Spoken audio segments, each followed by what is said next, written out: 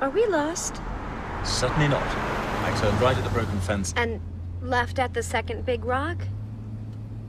Second big rock? Oh no, then we are lost. All right, I'm going to um, I'm going to turn right up here. No, I'm not. I'm going to I'm going to go round. Hang on.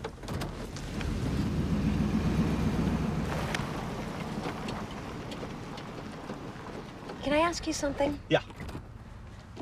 Why her?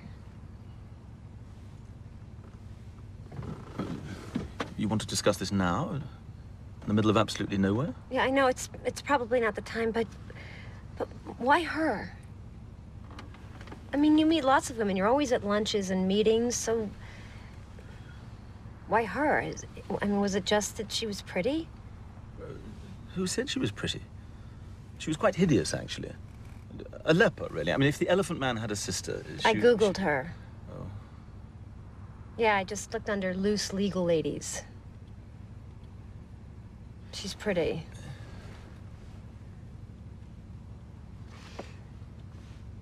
So, what's she like? She's reserved. I don't know, a bit cynical. You know. Yeah, no, I can see that. That makes sense. It's probably like, you know, going to a spa. Very quiet and cool and laid back and nobody nagging you or asking you questions like some crazy, neurotic woodpecker who won't let go of an issue until it's been pecked to death. It was, it was nothing.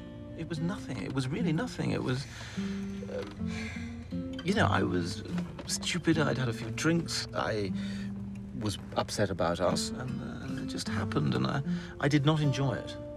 I was feeling guilty the whole time, and, and, and her perfume smelled a bit like a burrito.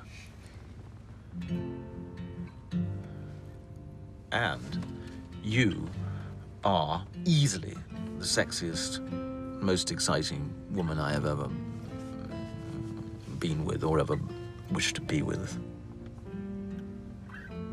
Mm-hmm.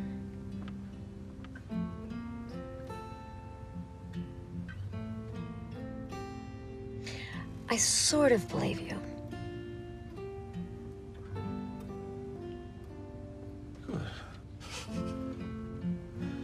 Progress.